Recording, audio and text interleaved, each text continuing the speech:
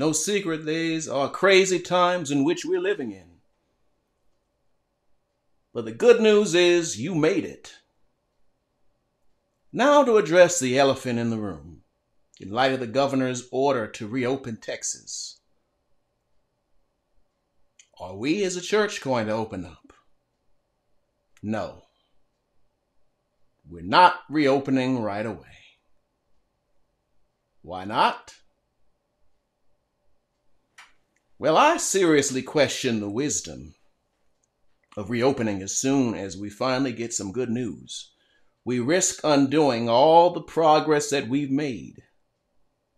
The nation of Italy reopened and had to go back into lockdown again because they rushed.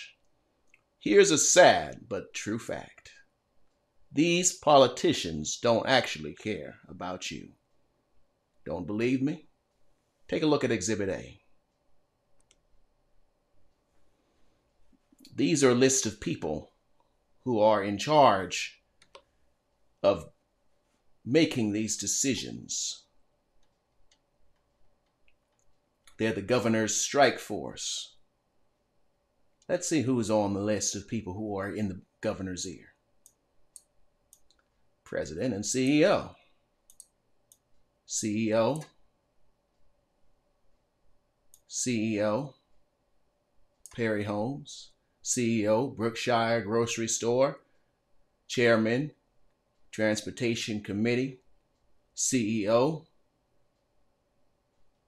Executive Director of Tourism, CEO Michael Dell, CEO, CEO, CEO.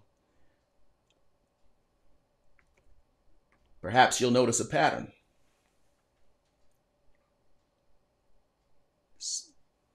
Not one person on this list is a healthcare professional, a doctor, someone who actually has expertise in the livelihood of our citizens. These people have a vested interest in getting us back to the issue of making money as soon as possible. And regardless of who gets affected, their priority is making dollars. But that will not be our priority. We're going to look at case counts, vaccination rates, and when we reopen, it will be a gradual process. We're going to continue to follow the advice of the CDC not self serving politicians. So, in summary, we are not reopening yet. Your safety is our number one priority. And when we reopen, it'll have nothing to do with making money. My friends, we haven't been sitting on our hands during these difficult times. Thanks to your continued faithfulness, we've paid off our mortgage during the pandemic. We retiled the fellowship hall. Thanks to your continued faithfulness, we've paid off our mortgage.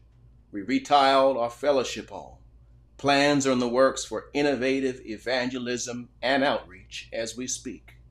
And we've continued to, as a church, serve our community in a difficult time.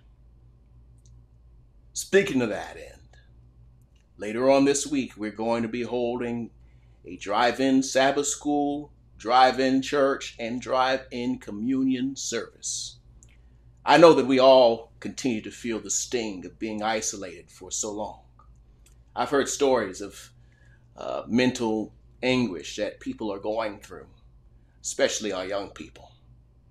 And so we're going to be doing more outdoors as the weather warms up, finding ways to connect to each other and with each other. So, in the comfort of your home, I invite you to join us this weekend. Tune in your radio to 87.5 and join us at church in the church parking lot for Sabbath school, church, and communion service. For those of you who prefer a virtual option, as per usual, you can continue to tune in on Facebook and YouTube.